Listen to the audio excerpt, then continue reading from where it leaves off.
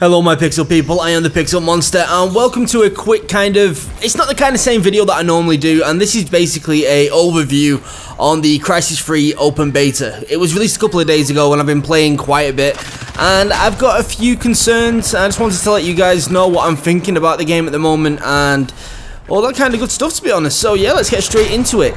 First off guys, the first thing you're going to notice is the graphics look good. Right now, what you're seeing is running on minimum settings, apart from texture detail, which is all the way up on very high.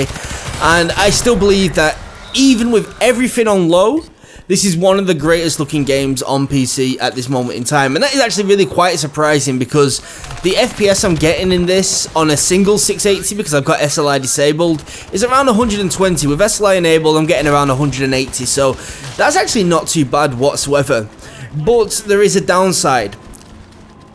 And it's really strange. I've not really experienced this in other games, but even when I'm running between 60 and 120 FPS, I can feel considerable mouse lag. And I understand that this is beta and beta is beta, which is beta. And this is going to be improved with performance increases and uh, optimizations later down the line. But overall, this is just one thing that I'm really, really concerned about. If they don't fix these performance issues and the mouse feels sluggish all the time, then I don't know. This game could take pretty much a nosedive, which is a, is kind of a shame because the gameplay itself. Let me just put it out there, guys. It's better than Crysis 2. It, it's it's so much better than Crysis 2. It is unbelievable. I mean, the maps are quite decent. There are a few issues in the gameplay itself, but I mean overall it's just got a more epic feel. It's really hard to put your finger on it. It's not like you can just say, well, this is better and this is better and this is better, which means the game is better. No, it doesn't work like that. What, what I actually trying to say is the game overall has just got a more complete feel. I don't know what that is. It almost felt like Crysis 2 multiplayer was kind of tacked on to the end of Crysis 2. And it was decent. But this actually feels like a fully fledged multiplayer component, and that's quite decent considering that this is actually an open beta. Um, on a funny side note, this has actually been placed into the demo section of EA Origins, so yeah, it's one of those betas again, guys. It is a temporary demo, basically, so I'm not expecting masses to change, but it does warn you in the options menu and everything that everything is beta and everything is subject to change. And I think that's a positive note to take from all this. I hope that they do improve quite a lot about the game, especially the performance. And when I say performance, I'm not talking about FPS performance, I'm talking about input lag. I'm talking about latency performance because if a game feels floaty, it kind of breaks your immersion. I don't know what it is, it's just really hard to stay on target, and it's not my aim, trust me guys. It is not my aim. But that aside, like I said, the game does look absolutely stunning, even on uh, very low. And on the highest settings, the game looks very, very impressive. It, it's a strange kind of impressive. It's an impressive where if you take a screenshot, that screenshot will look like some of the best graphics you have ever seen in PC gaming. However, when you're playing the game, it just... I, I think, it again, it comes down to the input latency and the feel of the game. But even with everything on maximum, I mean, and when everything looks really pretty, it doesn't seem to look as good as it does on low settings. A lot of this is because there's a lot of smoke effects and particle effects and post-process, which can kind of ruin the look of a game in my opinion, but it is what a lot of people look forward to seeing, and it is kind of technically stunning. However, it doesn't make a big impact on the gameplay, so I would definitely recommend not having it on high for the multiplayer. And to be honest, if the input lag is the same, on single player, I, am going to say the same about single player. I really do commend Crytek because it's really hard to see in this YouTube video. It, it's virtually impossible, but if you go and download the open beta yourself on PC, and you've got a relatively good, a relatively good computer, then stick up the graphic settings and try it for yourself, and it, it's really easy to say, well, it doesn't look as good as Crysis 1. Uh, it's debatable. I, I, I honestly believe that Crysis 1 looks a lot more realistic than even Crysis 3, but when it comes to technical excellence and what they've managed to achieve and some of the effects and the the whole process pipeline of how the graphics are actually rendered, it is much better than the original Crysis. And performance-wise, FPS-wise at least, it's also very good. I'm kind of wondering what trickery is going on underneath the uh, hood to uh, cause this input lag, and it is a big frustration. To be honest, guys, once you get above 120 FPS, the input lag is minimal. It, it, it's almost as good as most other games, but I have never, ever in my experience played a game at 60 FPS and still felt like my mouse is lagging unless VSync is on, and VSync is most definitely not on. And I am running on a 120Hz monitor as well. So, I, I, I don't know what that is, but there we go. Anyway, that's a lot of the boring technical stuff. So let's talk about the gameplay and some stuff like that.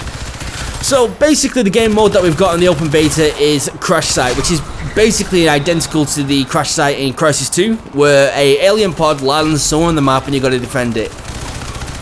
And this was always quite cool.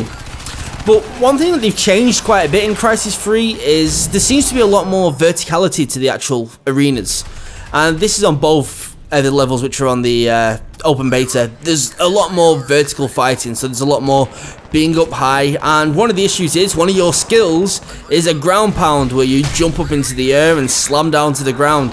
I don't know if there's much of it in this gameplay in particular but I can I can say for certainty in general it is becoming a massive frustration when you're guarding a point to have three or four invisible enemies just jump off a building and then ground pound to death. So I think there's a few little balance issues and tweaks that could be done.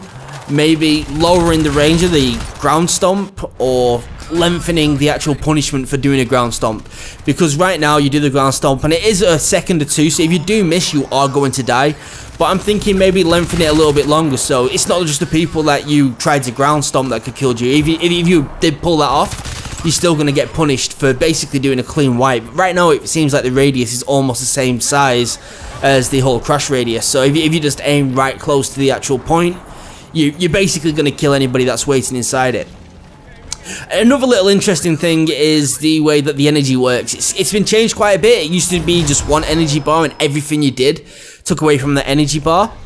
I, I kind of like that idea to be honest because it kind of made you need to think about what you was doing. So you wouldn't use your nanovision all the time because you know that you might need to jump in a second and you wouldn't use your shield because then you wanted to go into armor. What they've done this time around is they give all the individual skills their own energy bar, excluding movement. Movement is now no longer included, so you can jump as much as you like, which is a decent addition. It lets you get around the map a lot faster, I can tell you that much for a fact. But in general, now you can use your shield, and then once your shields run out, use your armor. Once your armor's run out, use your shield. And uh, I, I'm trying to say it's a good thing, well, no, it, it is a good thing because all of a sudden now there's a lot more tactics involved. It's not as simple as you've got to try and maintain your energy for when you get into a fight or decide to do something stealthy knowing that when you come out of stealth later down the line you're going to be punished. Because what it used to be like is if you were stealth and you was going into a crash site, as soon as you came out of stealth you'd have less than half your energy left which means that you couldn't use your shields. But you had the advantage of getting to the point where you got by using your stealth. This time around, you can use your stealth, and then even if you started shooting while you was in stealth, sure your stealth bar would collapse, but that doesn't matter because your armor bar would still be full. It's an interesting kind of balancing act, and I haven't played enough of the game right now to be able to tell you for a fact if this is something which is going to be a positive or a negative. I'm kind of liking the idea myself, but like I said, it's all subject to change. I think it could do with a little bit more tweaking because right now you're finding a lot of people just hiding in the corner of the map stealthed.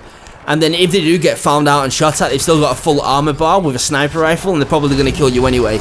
And the other issue is balance of the weapons when it comes to the shotguns. In the beta, the shotguns are kind of overpowered in many respects because um, this game mode is the only one where you get full access to your loadouts. And I can tell you for a fact that if you're on a point, all the enemy needs to do is to get a shotgun, run up to you in stealth. It's really hard to see stealth guys unless you go into nanovision.